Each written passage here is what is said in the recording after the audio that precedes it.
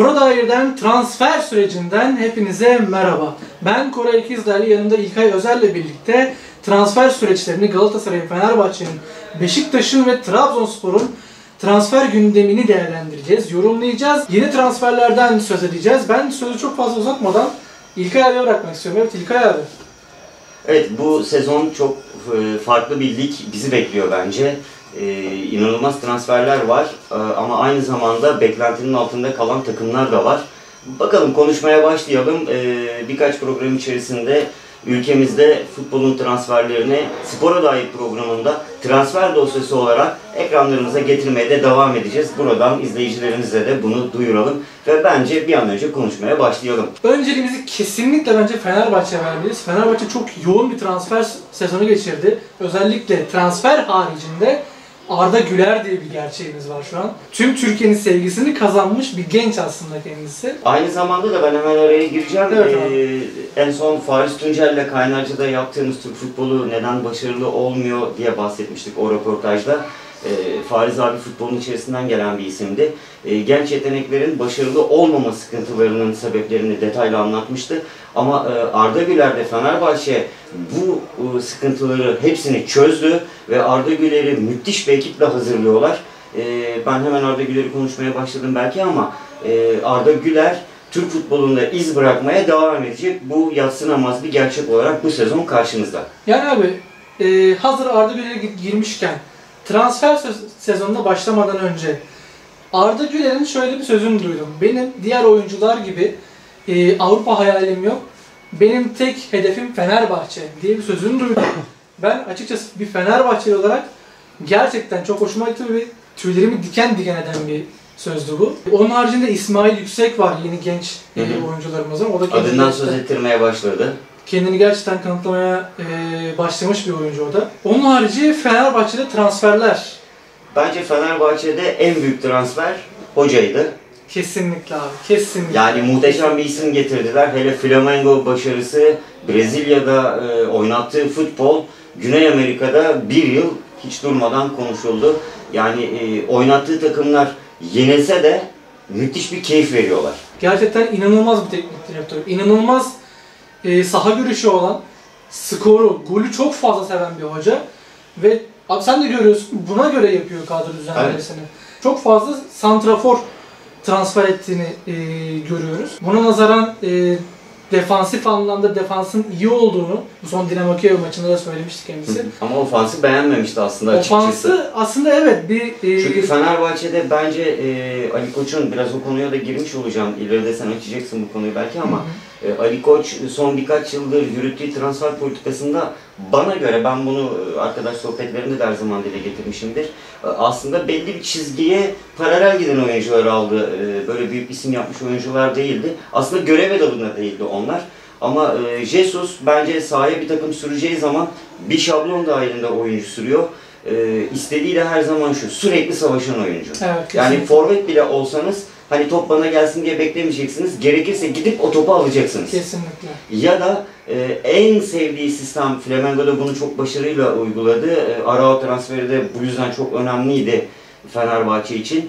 O topu o forvet oyuncusuna hızlı ulaştırabilecek mutlaka bir veya iki oyuncu istiyor. Yine Arda Güler'i devreye sokacağım burada ama Arda Güler de sanki bu söz ettiğin şeye tam uyacak potansiyelde futbolcu sanki abi. Yani şablona en uygun oyunculardan bir tanesi Fenerbahçe'de başında geliyor. Fenerbahçe'nin inanılmaz bir dinamiği olacak bu kesin. Ee, bence Willian Arao da kesinlikle adından söz ettirecek. Ee, hani Lemos'ta biraz Fenerbahçe buruk kaldı aslında. Evet Lemos e, bir şeyler verdi Fenerbahçe'ye. Ama bence bir tık yetersiz kalmıştı. Bence e, Arao çok daha iyi bir görev adamı olacak Fenerbahçe'de. Evet.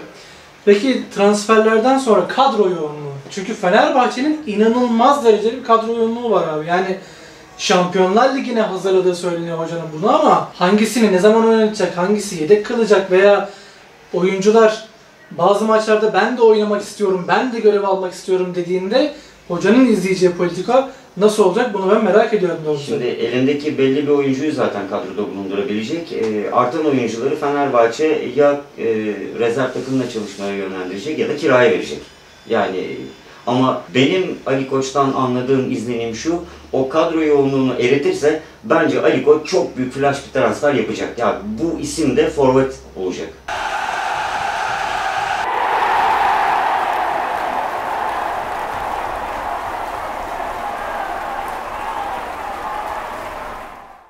Evet sevgili Koray, Fenerbahçe'de gönderilecek futbolcular konusu hakkında görüşlerin neler?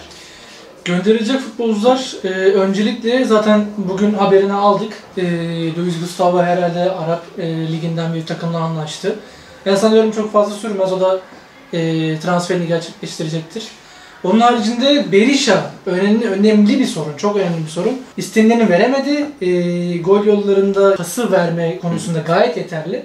Ama golü yaratma açısından biraz eksik kaldı Berisha. E, satılması gündemdeydi. E, yani ne olacağı belirsiz hala. Yani isteyen takımlar arasında da bildiğim kadarıyla kiralık olarak alıp e, performansına bakıp satın alma opsiyonu kullanıp kullanmama hakkını elde etmek istiyor takımlar. Fenerbahçe'de bunu istemiyor, direkt satmak istiyor. Evet. Benim e, araştırmalarım bu yönde. Hı hı. E, futbol sesi çok fazla Fenerbahçe'de. Tek tek e, saymak yerine e, ben genel politikadan bahsetmeyi daha uygun buluyorum. Hani dediğim gibi Başkan Ali Koç bence elinden çıkarabildiği kadar futbolcuyu çıkaracak. Satabildiğini satacak. Elde ettiği gelirin de önemli bir kısmını yine sponsorlardan gelen kaynaklardan da ekleme yapıp bence çok büyük bir yıldız transferi edecek. Diğer elde kalan futbolcuları da en kötü ihtimalle kiraya verecek diye düşünüyorum. Yani Fenerbahçe'ye yıldız transfer gelmeyeli e, Van Persie'den sonrasını konuşuyorum. Uzun bir zaman oldu aslında. Fenerbahçe'nin böyle bir transfere ihtiyacı var.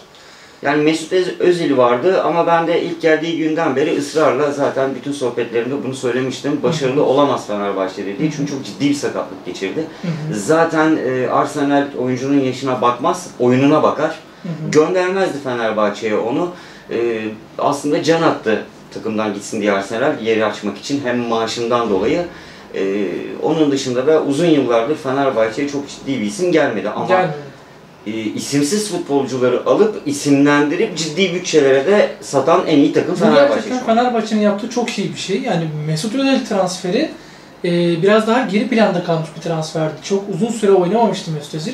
Bu yüzden ona bir yıldız transferden çok e, adı duyulmuş bir transfer olarak e, Evet. neticelendirmeyi ben Yoksa daha kariyeri, e, Kesinlikle. futbolculuğu kesinlikle tartışılmaz. tartışılmaz yani düzeyde. inanılmaz. Keşke Türk milli takımında forma giyseydi. E, Keşke. benim ben o günden beri zaten hep serzenişte bulunmuşumdur. He- Hep de benim için çok olumlu e, yorumlar almamış bir futbolcudur. Hı hı. E, keşke Türk milli takımını seçseydi. Bence çok daha farklı olurdu. Peki Galatasaray diyeceğimizde Okan Buruk yeni bir döneme başlıyor Galatasaray. Yeni transferlerle, yeni bir çalışma düzeniyle Galatasaray yoğun bir asım tempo Aynı zamanda yeni bir yönetimle. Aynı zamanda yeni bir yönetimde ki karışık bir süreçte yönetimin seçilme süreci de. Evet. Yeni başkan e, Okan Buruk'la anlaştı. Fatih Terim'le anlaşılacağı söyleniyordu bazı e, kaynaklardan. Okan Buruk'la anlaştı. Yeni transferler yapıldı. Okan Buruk'un yeni takımı nasıl olacak ki Okan Buruk'un futbolcunu da izlemiş biri olarak sen ne düşünüyorsun abi Okan Buruk hakkında? Şimdi e, ilk şunu söyleyeceğim. E, Kaynarca'da bir etkinlik vardı. Orada e, Okan Buruk'un e, abisi Fuat Buruk'la beraberdik. E, kısaca ben sormuştum ona. Zaten dedi yarın muhtemelen gazetelerde okursun e, anlaşmak üzere diye söylemişti. Öyle de oldu. E, ama yaptığımız kısa sohbette e, benim gördüğüm şuydu. Okan Hoca şimdiye kadar oynatmadığı farklı bir sistemi oynatacak. Bunda biraz da o Galatasaray'daki futbolculuk dönemini daha fazla kullanacak diye düşünüyorum. Zaten e, yeni yönetim de kendisine ciddi derecede bir transfer desteği verebilirse bence çok farklı işlere imza atacak. Çok farklı bir Galatasaray futbolu göreceğiz. Onun dışında zaten Galatasaray'ın elinde hazır bir kadro vardı. E, beğenilse de beğenilmese de. Ama e, 4-5 takviye ile e, ses getirebilir. Ki 3-4 tane de iyi transferleri oldu Galatasaray'ın. Ama benim tanıdığım Okan Buruk Galatasaray'a bu kez fark yaratmak için hoca olarak geldi. O farkı da ortaya koyabileceğine inanıyorum. Fatih Terim ve Okan Buruk mu hiçbir zaman e, kıyaslanmayacak bir konudur. E, Fatih Terim bence Okan Buruk'u biraz bekleyecek. Baktılar ki Okan Hoca istediklerini veya yönetim Okan Hoca'nın istediklerini veremedi. E, bu tarz bir durumda başarı gelmediğinde devre arasında Fatih Hoca devreye girecektir diye düşünüyorum. Ama benim gönlümden geçen her zaman şudur. Fatih Hoca için bir tırnak açacağım. E, Almanya'da hani Beckenbauer'ın yaptığı e, olay yani Bayern Münih'i inanılmaz bir seviyeye getirdi. Hala da e, o çizgiyi devam ettiriyor Bayern Münih. E, bence Fatih Hoca artık teknik direktör olarak değil de ya yönetici ya da federasyonda çok ciddi bir görev olarak yani kesinlikle Galatasaraylılığı tartışılmaz ama o artık e, Galatasaray formasını üzerinden bir tık daha çıkartıp Türk futbolu için inanılmaz işlere imza atabilir. Ben Ankara gücünü o çalıştırırken çok genç yaşlarımda müthiş bir hoca geliyor demiştim. Ee, öyle de olmuştu. Ee, Türk futbolunda müthiş işlere imza atacak bir Fatih Terim olabilir. Ee, yeter ki tüm takımları kapsayacak şekilde bunu yapsın ve futbolun farklı bir konumunda yer alsın. Ee, Okan Buruk gibi hocalar da artık genç yaşlarından dolayı Galatasaray'ı e, iyi çizgilere getirsinler diye düşünüyorum. Okan Buruk'un da bunu yapacak kapasitesi de ekibi de var. Çok ciddi bir ekiple geldi Galatasaray'a. Gönlünde yatan çok ciddi oyuncular var. İnşallah Galatasaray yönetimi onları almayı başarır. Onun haricinde Sergio Oliveira diye bir transferi var Galatasaray'ın ki benim çok beğendiğim bir transfer abi. Hani Hakeza benim de öyle. dikkat ettin mi? Hani Selçuk İnan, yeni Selçuk İnan deniyor Sergio Oliveira için ve Bence gerçekten daha iyisi olacak. ve gerçekten muhteşem bir rakam kapattılar. Ki e, satın alındığı takımın e, yöneticisi de e, bunu dile getirdi. Hı hı. Şunu söyledi, beni biri aradı. Diksiyonu çok iyiydi, çok ikna edici konuşuyordu. Ve birden ben Sergio Oliveira'yı çok düşük bir rakama bıraktım ve telefonu kapattığımda ben ne yaptım dedim dedi, kendi kendime. Yani Galatasaray için bence güzel işler yapacak bir futbolcu ol- olacak diye Bence bu düşünüyorum. transferi, bence bu transferi Sergio Oliveira da çok istedi. Hı hı. Ee, projeye inandı Galatasaray'ın projesine, Okan Buruk'un projesine ve yönetimin projesine inandı diye düşünüyorum. Yani çok iyi bir transfer. Ee, takım uyumu da yakalarsa müthiş işlere imza atacak. Yeni Selçuk İnan diye lanse ediliyor ama bence daha fazlasına imza atacak. Yani Sergio Oliveira olarak Türk futbolunda iz bırakma ihtimalini çok yüksek görüyorum. Evet. Beşiktaş'a geçelim abi. Ondan Beşiktaş'a önce geçmeden önce Evet. önemli bir transfer daha Halit Seferovic.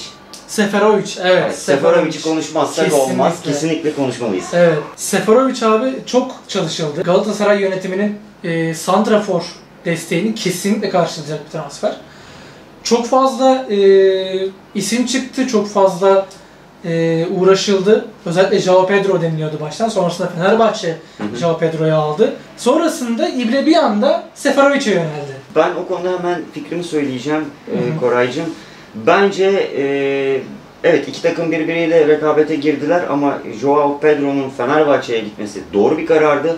Seferovic'in Galatasaray'a gelmesi de çok doğru bir karardı. Eğer bu denklem tersine olsaydı ben verimli olmayacağını düşünüyorum. Ama e, Seferovic'in Galatasaray'a gelmesi Galatasaray için de Okan Hoca için de e, Seferovic için de doğru bir e, karardı. Başarılı olacağını düşünüyorum. E, özellikle hemen arkasında oynayacak oyuncular da önemli. Çünkü Se- Seferovic'i beslerseniz o bir şekilde golünü atar. E, Joao Pedro da bence e, zaten gönlünde hoca için geldi. Fenerbahçe'nin projesine o da inandı. E, Jesus'la çalışmayı çok istedi. E, dediğim gibi taşlar yerine oturdu ve iki güzel transfer oldu. Renkli goller izleyeceğiz ikisinden de. İnşallah. Yani benim isteğim abi kesinlikle Süper Lig'de öncelikle kazanmaktan öte bize seyir zevkini yaşatabilecek e, takımları görmek isterim ben. Özellikle Fenerbahçe ve Galatasaray derbisinde çok fark yaratmayan galibiyetlerle birkaç derbi izledik. Gönül ister ki bu derbiler daha heyecan versin, daha taraftarı Evet. ateşlesin. Futbol konuşulsun aslında. Yani bence Kesinlikle. artık e, Türkiye'de derbilerde futbol konuşulsun. Kesinlikle. Yani olaylar, kesinlikle. yöneticiler veya işte e, A başkan şunu dedi, B başkan bunu dedi Hı hı. yerine hani biraz önce söylediğim gibi bence her derbi sonrasında vay be Seferovic ne hareket yaptı, şahane gol attı. Kesinlikle. E, ya da kesinlikle. işte e, isim çok şey değil. E, kaleci muhteşem kurtardı. Abi 90'dan topu aldı. Bence bunları Türk futbolu konuşursa ileriye gidecek. E, seyir zevkli yüksek derbiler olacağını düşünüyorum. Yeter ki e, gerginlikler yaratılmasın. Bunu da yaratanlar e, hiç kimse kusura bakmasın insanlar. E, onu da yapan ağırlıklı olarak yöneticiler. Yoksa e, centilmenlik lafta değil eylemde olmalı diye düşünüyorum. E, ben gençliğimin yıllarında arkadaşlarımla gidip çok rahat birlikte farklı takımlardan olan arkadaşlarımla maçlar izliyordum.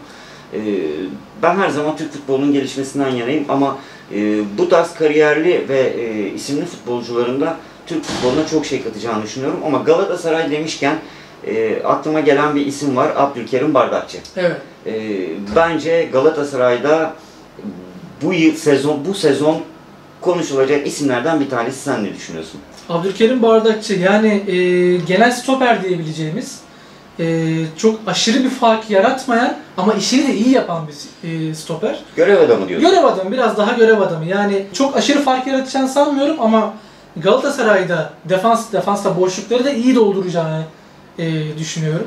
Yani o zaman bu sezonun izleyelim, görelim e, diye Biraz biraz daha biraz daha öyle olacak. bir e, transfer diye düşünüyorum ben Abdülkerim Bardakçı konusunda.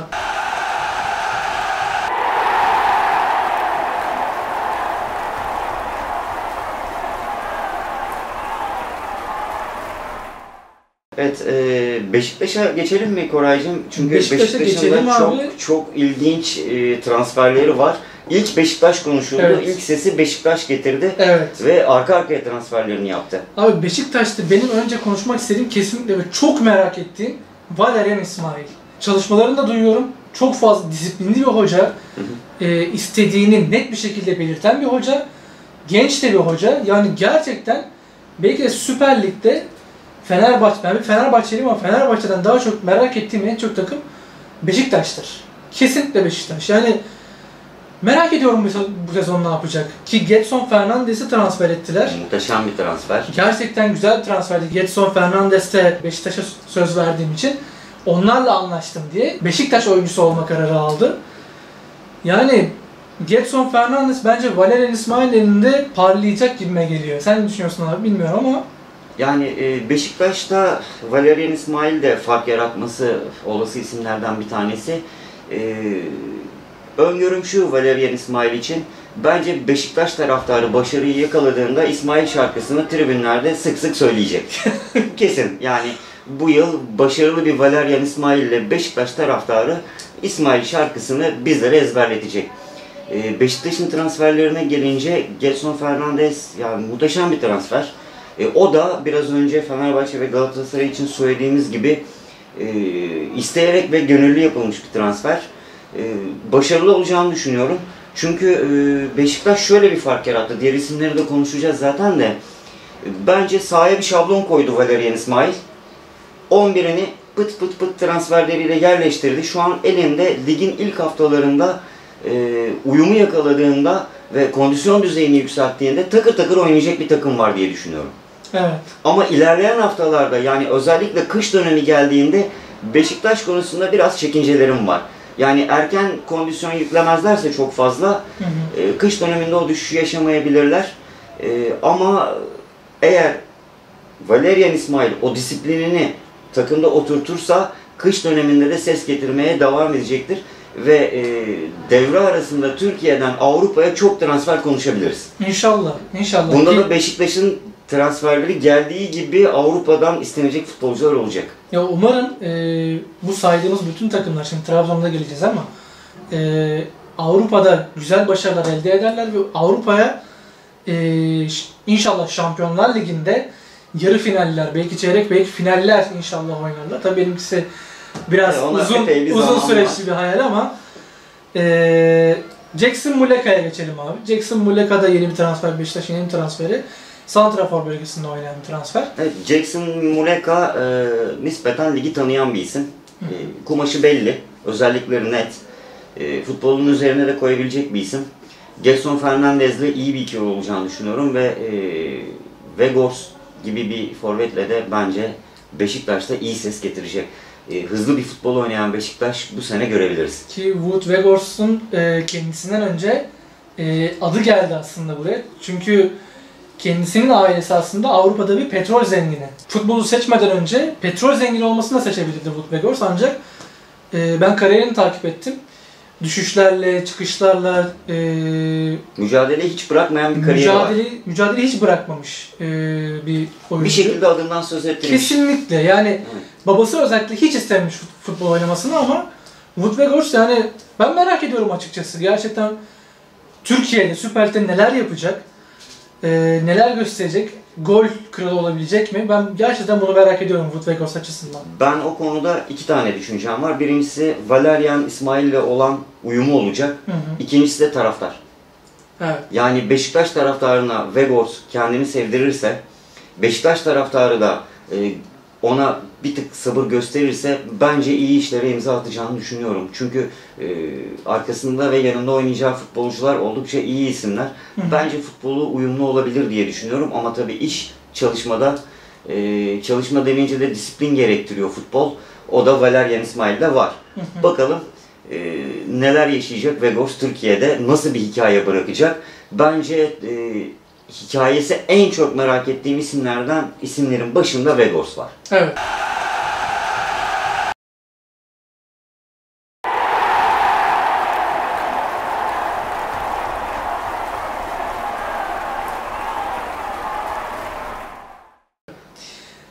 Ee, istersen Trabzon'a geçelim abi yavaş yavaş. Evet.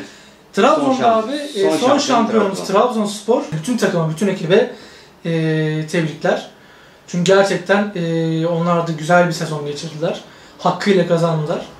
Ancak abi e, Trabzonspor hakkında şu söyleniyor. E, şampiyon oldular ama şampiyon takımın çoğu oyuncusu Avrupa'dan teklif almadı deniyor ve bu taraftarların da uzun bir süreçte e, ağzında çalkanılan bir dedikodu. Şöyle bir durum var Trabzonspor'da. Zaten e, devre arasında ve bir önceki sezonda Avrupa'ya çok ciddi transfer e, olan oyuncuları vardı. Bunun dışında e, geride kalan yani şampiyonluk kadrosunda yer alan bazı oyuncuları da zaten Trabzonspor bırakmak istemiyor. E, bırakılacak rakamları da Avrupa vermek istemiyor. Bunu bir kere gözden kaçırmamak lazım. E, bir de o kadronun içerisinde olan oyuncular henüz daha yeniler. Yeni, Evet. yeni ön plana çıktılar. Yani yeniler derken yaşı ilerlemiş bir futbolcu bile olsa e, en iyi futbol düzeyini Trabzonspor'da oynadılar ve şampiyonluğa ulaştılar. Bazı takımlarda bekleyip görmek istiyorlar. E, aynı çizgiyi, geçen yılki çizgiyi Trabzonspor sahaya yansıtırsa ki e, bu konuda çok iyi bir teknik direktörleri var. Bozmayacaktır çizgisini, vazgeçmeyecektir. İsimler değişse de değişecek isimlerin yerine yine görev adamlarını alacaktır. O kanaatteyim. Onları da bir şekilde oynatmayı bilecektir hoca. E, Trabzonspor yine devre arasında konuşulacak bence. Hani bu yaz ses getirmeyen transferler yine devre arasında ses getirebilir. Çünkü bir yaklaşık 3 sezondur Trabzonspor'un bir özelliği oldu devre arasında ses getirmesi. Trabzonspor'un e, çok konuşulan transferi Trezeguet ki Trezeguet'in konuşulmasının bir sebebi de Galatasaray haricinde diğer kulüplerimizden daha çok takipçisi olmasıydı. Çok fazla konuşuldu. Başakşehir'den gelen bir transfer.